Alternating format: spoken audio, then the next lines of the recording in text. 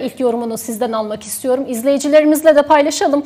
E, malumunuz depremzede azarlamak, onlarla tartışmak bir iktidar alışkanlığına dönüştü. Bu sefer sahnede Devlet Bahçeli vardı. Depremzedelerle tartıştı. Bir izleyelim önce.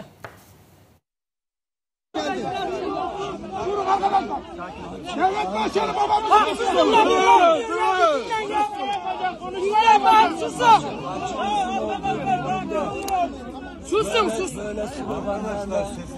Sayın Cumhurbaşkanımızın ve diğer yetkililerin burayı ziyaretini sabote etmeye hakkınız yok. Sessizlik olacak. Aynen. Hepsi dağılın gitsin. Indirin şunları. Hadi bakalım. Devlet Bey'im beyin ya. İşte bu görüntü e, aslında Devlet Bahçeli'nin olduğu bu görüntüde e, kendisi diyor ki Sayın Cumhurbaşkanı'nı ve burayı ziyareti sabote etmeye hakkınız yok.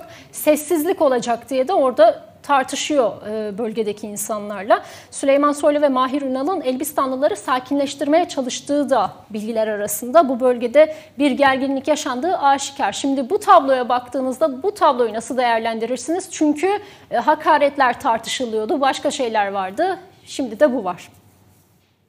Yani o skandallar zincirinin doğal bir halkası. Ee, başka türlü değerlendirmek mümkün değil. E, zaten e, Sayın Bahçeli e, her fırsatta muhalefete hakaret ediyor. Her türlü ötekileştirmeyi yapıyor. E, insanları kriminalize ediyor. Kendi gibi düşünmeyenleri. Bunu devamlı yapıyor. Onun için diline üslubunu bildiğimiz için dolayısıyla burada e, vatandaşın e, feryadı karşısında e, böyle bir tutum içerisinde olması garipsemiyorum. Vatandaşımızın da bu gerçeklikle e, yüzleşebilmesi adına da e, ben e, önemli buluyorum bunu. Önde belirteyim. Çünkü zannediliyor ki bazen toplumda bu arkadaşlar bunu sadece muhalefette karşı yapıyorlar. Bu arkadaşlar sadece bunu siyasilere karşı yapıyorlar. Hayır. Bu arkadaşlar kendilerini mülkün sahibi görüyorlar. Bu arkadaşlar kendilerini vatandaşın üzerinde görüyorlar. Onların efendisi görüyorlar. Zaten bu tutum öyle bir tutum. Yoksa yani bir kere hangi yüzde zaten deprem bölgesinde böyle dolaşabiliyorsunuz? İnsanlardan af dilemeniz gerekirken, özür dilenmesi gerekirken bir de insanlara azarlıyorlar, aşağılıyorlar. Ama zaten bu iktidarın özelliği bu. Dolayısıyla bunu tekrar yansıtmış olması bakımından Devlet Bahçeli'ye üzülerek ancak teşekkür edilebilir diye düşünüyorum. Evet. Şimdi Devlet Bahçeli deyince aslında konular da bitmiyor. Malumunuz son günlerde kendisi bu sosyal medyadan yaptığı açıklamalarla da bir hayli gündemde.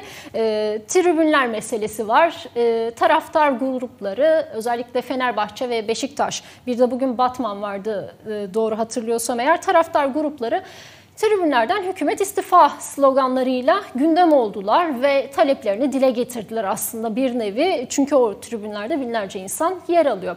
Ve Devlet Bahçeli de çıktı dedi ki ya seyircisiz oynansın ya da seyircisiz oynanmayacaksa biz konuya müdahale edeceğiz demeye getirdi aslında belki bir nevi. Buradan devam edelim isterseniz. Bu tribünlerdeki ve tepkiyi... Ettiler. Ve ettiler biliyorsunuz. Ve ettiler. Aynen öyle ki Kulüpler Birliği'nin açıklaması da vardı belki bu konuyla ilgili ek olarak söylenebilir. Şimdi